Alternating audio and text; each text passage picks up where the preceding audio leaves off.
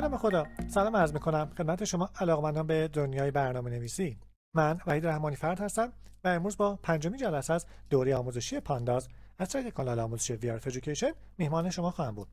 امیدوارم که مطالب ارائه شده در این جلسه مورد توجه شما قرار بگیره در جلسات گذشته با نحوه ایجاد کردن سریز ها آشنا شدیم. اگه دقت کرده باشین ما از یک متدی به نام pd.series استفاده می کردیم یک کانستراکتور متدی بود که بیاد سریز ها رو برای ما ایجاد کنه. که حالا خیلی به صورت مینیمالیستی باش برخورد می‌کردیم. اما در طول این دوره من می‌خوام بیام این کریتور متد هایی که داریم رو پارامترهای مختلفی که دارن رو خدمتتون شرح بدم و هر کدوم با یک مثالی ارائه کنیم. امروز می‌خوام بریم سر وقت همین متد سریزی که باهاش کار کردیم و یک حالا سریز رو ایجاد کردیم لیبل دادیم و سایر پارامترهای اون رو هم با هم بررسی کنیم ببینیم که این پارامترها چه وقت و چه موقع به کار ما خواهند اومد. بریم بخش عملی و این بررسی رو با هم شروع کنیم. خب بریم سر وقت بررسی پارامترهایی که ما می‌تونیم در هنگام ایجاد Series ها در Pandas از اونها استفاده کنیم. اگر که بیایم حالا از عبارت pd.series استفاده کنیم حالا یه نکته بچه‌ها وقتی دارین تایپ می‌کنه اگه double tab بزنید اینو خودش کامل می‌کنه براتون. اگه مثلا option های دیگه ای داشته باشه می‌بینید که بهتون به صورت یه دونه لیست نشون میده می‌تونید از اون انتخاب کنید. و حالا پرانتزی که باز می‌کنید اگه shift tab رو بزنید پارامترهایی که برای اون حالا متدی که داریم کار می‌کنیم وجود داره بهتون نشون میده. فعلا به صورت خلاص شده. اگر دوباره دو تا shift tab بزنین کاملتر اون نشون میده. این حالا constructor متد Series که ما داریم یه تعداد پارامتر داره. که ما اگه خوب به صورت default یعنی بخوام به صورت positional اینا رو نگاه کنیم اون پارامتر لیستی که بهش میدیم یه قسمت data قرار می‌گیره. یعنی اطلاعات من قرار از اون لیست باشه.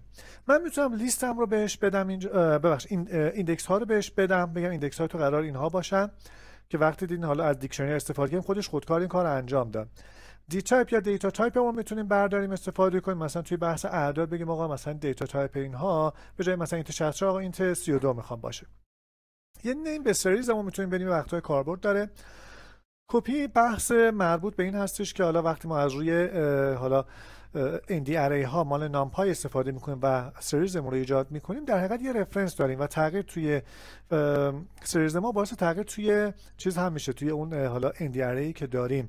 که خب اینجا این default False اگه کپی رو True بفرستیم عملا این بحث مربوط به جدا کردن دوتا data از هم اتفاق میفته. یعنی یه کپی از data هستی که همون ndarray ه باشه داریم و حالا اگه ما رو Series مون تغییر بدیم روی اون ndarray ه اعمال نمیشه.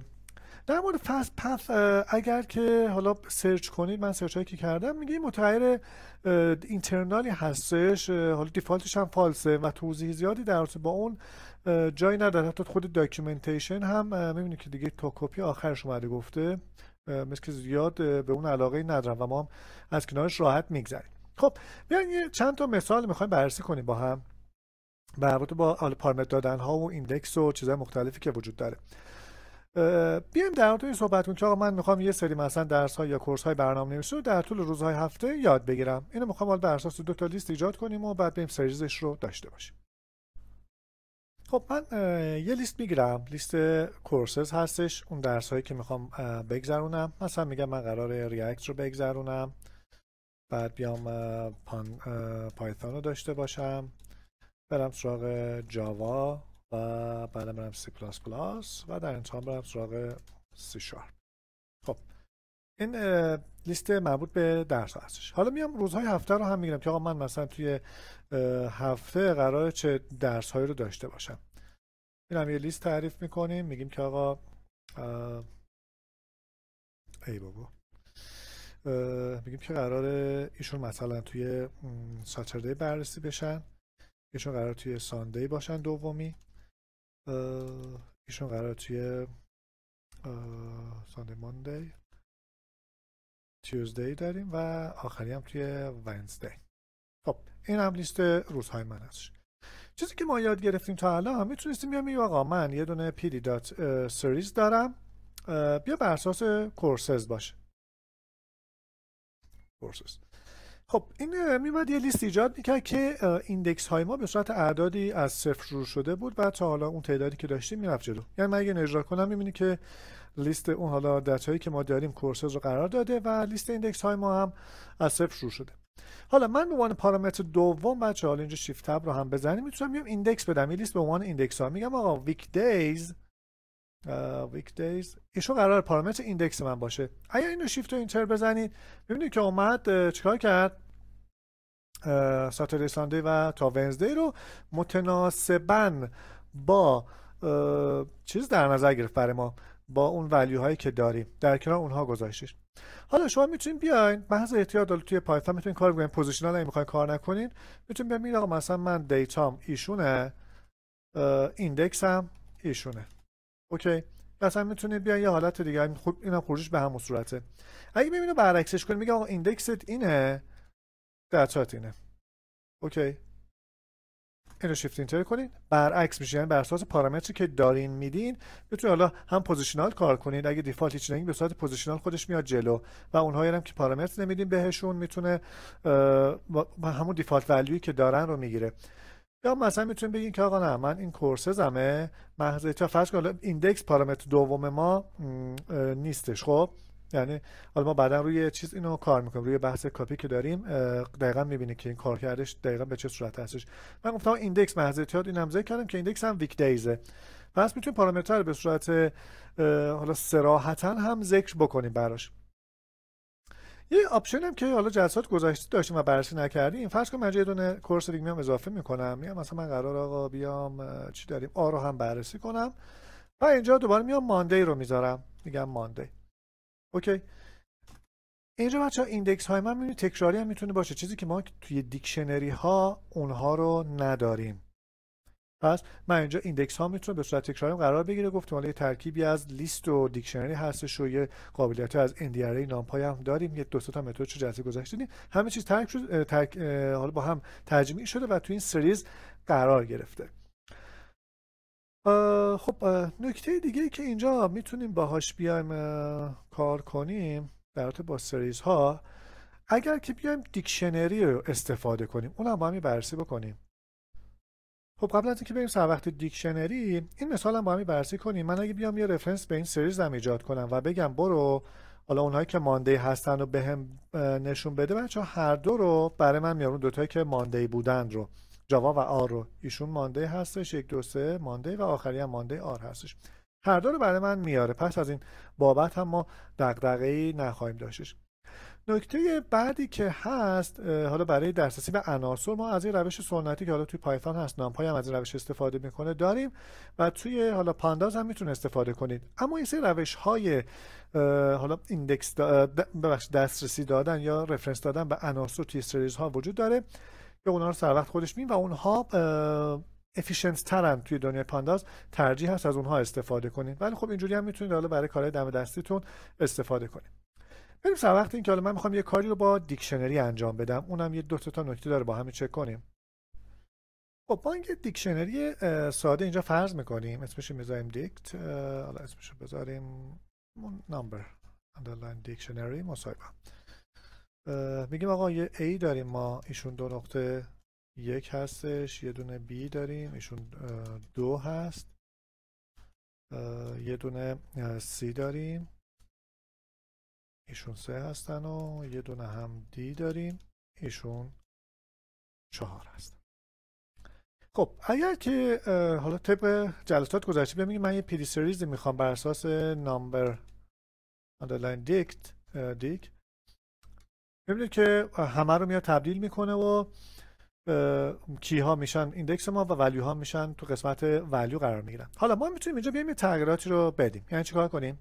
و اینجا می‌تونم یا index هایی که داری لیست index ها رو بهش بدم. میگم من از تو می‌خوام A و B و C رو داشته باشیم. وقتی این کار می‌کنه بچه فقط میاد همین اعضا رو از توی دیکشنری برمیداره میاره. دیگه خبری از اون D آخر نیستش. پس من با index دادم می‌تونم محدود کنم کارم حالا در دنیای دیکشنری ها وقتی می‌خوام از دیکشنری استفاده کنیم برای لیست ها اگر مثلا من بچه یه عنصری نام ببرم که توی دیکشنری وجود نداشته باشه کلید این توی series قرار می‌گیره و by default اینم میاد چیکار می‌کنه؟ میگه a number x و y دادی ولی اینو من توی دیکشنری نمی‌بینم. و تایپ رو هم چون اینجا می‌خواد not number استفاده کنه همه رو default کرد float 64 دیدین که قبلی حالا همش اعداد int بودن و int در نظر گرفتش. پس با حواس باش تو دیکشنری ها اگر که اون مقدار نباشه ما یه not number خواهیم داشت این هم یه نکته که حتما باید توجه داشته باشید بریم سر وقت پارامتر حالا کپی که می‌خواستیم در صحبت کنیم. یه دونه لیست من می‌گیرم. یه دونه LST بگیریم مساویه. میگیم آقا مثلا شما یک باشه دو و سه.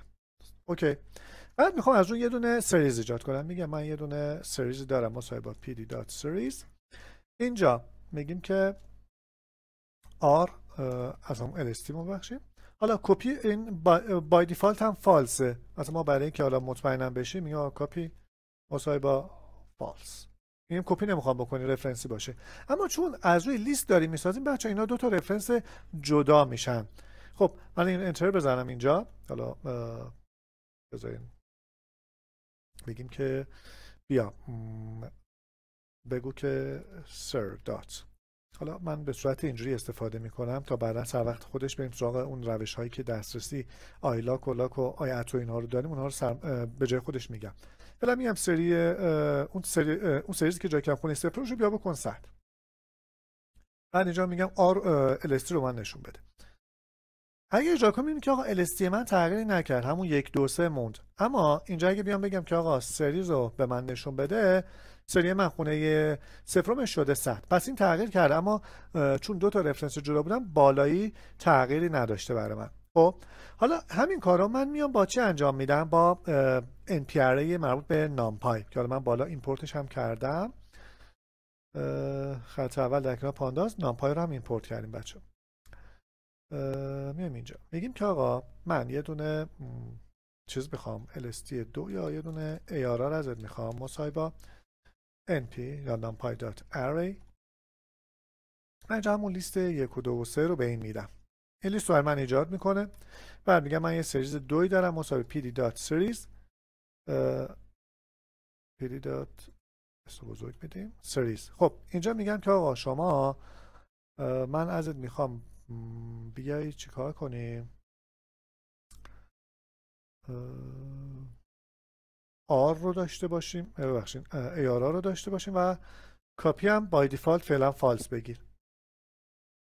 کاپی هم False و اینجا میگم که آقا ser دو یا series دو من خونه صفرمش رو می‌خوام بذارم دیویست اوکی.